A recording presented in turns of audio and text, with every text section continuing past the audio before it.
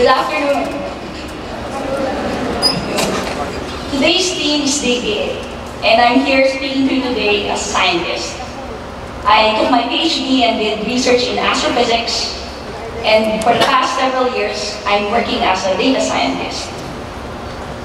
And as far as I can tell, I'm the only scientist in my family on either side. And looking back now, I remember when I was growing up was in college, and people asked me, uh, relatives, friends of the family, uh, just people in the neighborhood, they asked me, what are you taking up in college? And I tell them, physics. I would get, usually get a strong response. And looking back, I think most of the responses can be one of essentially two different kinds. And I'll share them with you today. The first kind is one of surprise, sometimes accompanied by awe. As in, wow, physics! Ang hirap niyan! That's so difficult. I don't remember how I passed that, or I almost flunked that subject. I remember a professor, no one understands him or her, and so on and so on. And suddenly, I become an intimidating alien. Perhaps a smart and impressive one, but nonetheless, someone they cannot relate to. And the conversation stops there. The other type of response comes usually from relatives. And it comes as a question and a concern. They would say, Physics? Anong gagawin mo dyan? Or, what would you do after you graduate? And they're really genuinely worried that there's no future for me. They're concerned that there's no bright career for someone like me who's taking a science major. And in fact, I think they're being polite.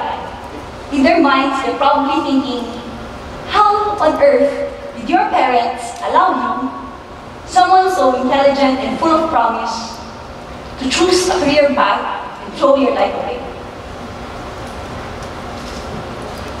For the most part, I actually didn't mind these reactions, found a way to get through them politely.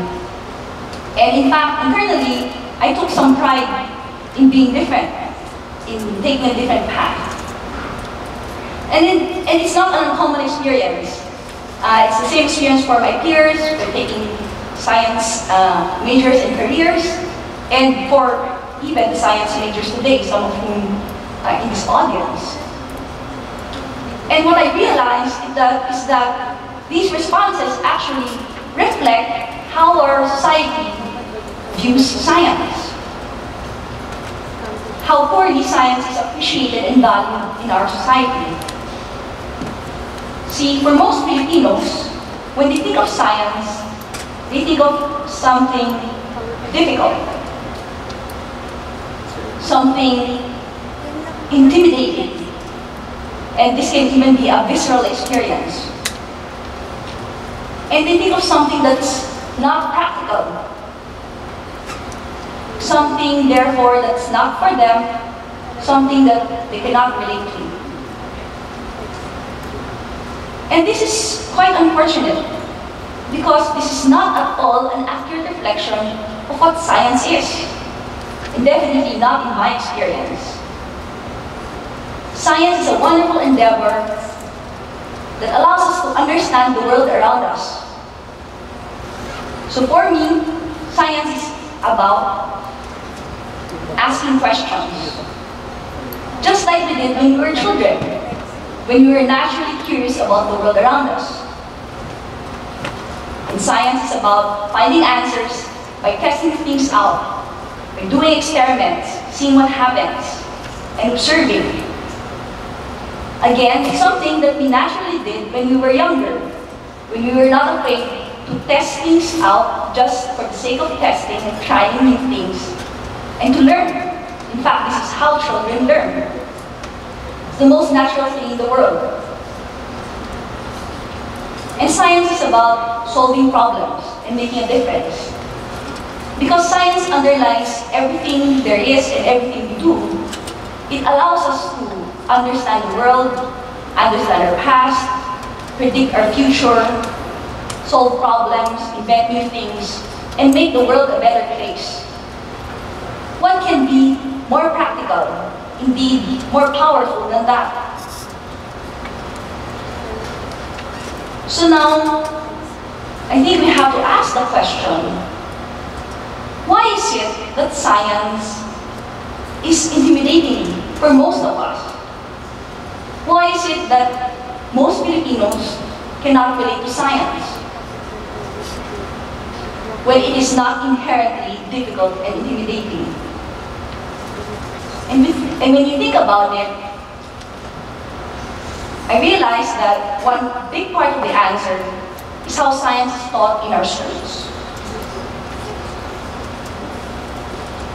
In school, where we first have a serious encounter with science, science is presented as a huge, complicated, unchanging body of knowledge.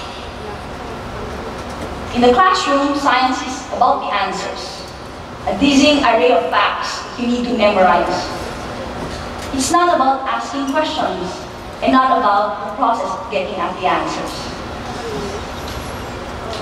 Sadly also, Many of our own teachers also view science as difficult and intimidating, even the ones who teach science. So it's not surprising that this attitude is passed on to your students, some of whom become teachers and pass it on to their students. But it doesn't have to be this way. There are also many teachers that make science alive in their classroom. And I count myself lucky that I've had many of these teachers as my own. One great example is my friend, Sab Kiko. She's a biology major, in fact we were batchmates, and she found a calling in being a public school teacher. She teaches science 6 students in Culiat Elementary School in Quezon City. And in her classroom, science is active, fun, and awesome. Here she is with her students um, on the day of their lesson on solutions, colloids, and suspensions. For that class, they made a tornado in a bottle, marbleized eggs, and one she's holding, um, and get this, their very own ice cream. How cool is that? Something that grade 6 student will remember for the, the rest of her his life. Sab clearly loves science deeply, and through her example and her creative lessons and activities in class, she makes sure that her students also have this love for science. In another activity, Sab asked her students to come up with inventions that can help people with disabilities. Here, two groups are showing off their projects just made from everyday materials. A prosthetic arm and a prosthetic leg. And these activities sound simple, but they're actually very powerful and leave a profound impression on the kids. Because instead of just learning and reading about scientists, here they can play the role of scientists and inventor themselves.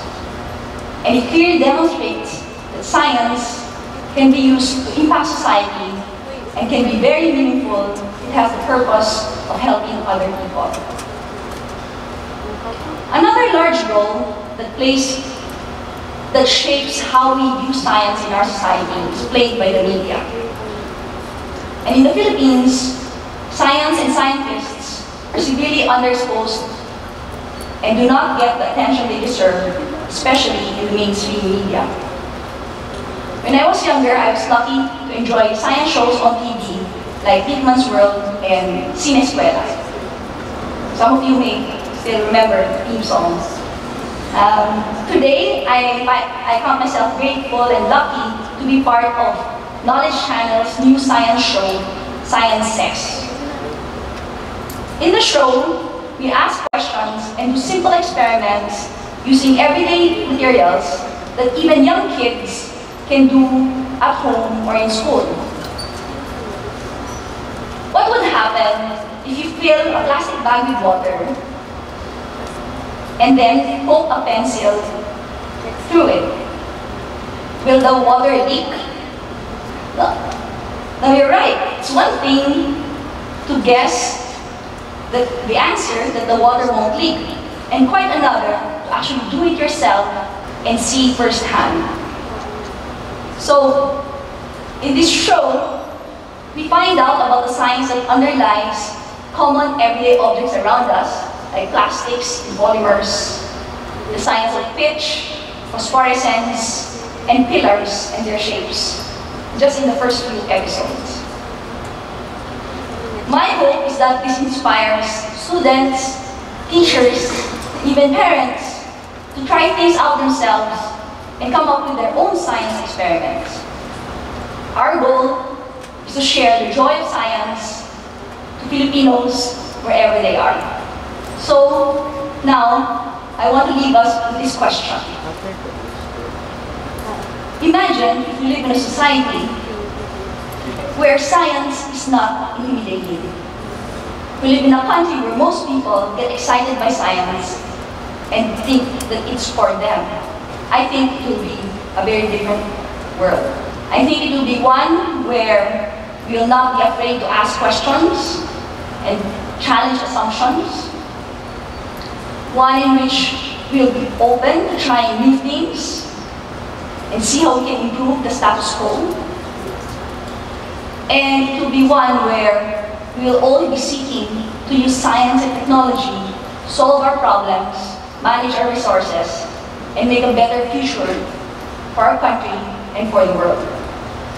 I, for one, would like to live in that world, and I hope you do too. We can all play a part. Next time you hear about cool science news, first ever image of a black hole, or discovery of ancient human bones right in our neighborhood in northern Luzon, that's evidence for a new, possible new human species. Be amazed and be curious. Learn about it and share it with your family, with your friends. Talk to your coworkers and classmates and be the richer for it. And please, the next time a young person tells you that they're in the STEM track in senior high or they're doing a science major in college or in graduate school, tell them that you think science is cool and that they are building the future. Ask them about their interests and their work. Continue the conversation. Listen to them. I promise you will be amazed. Thank you very much.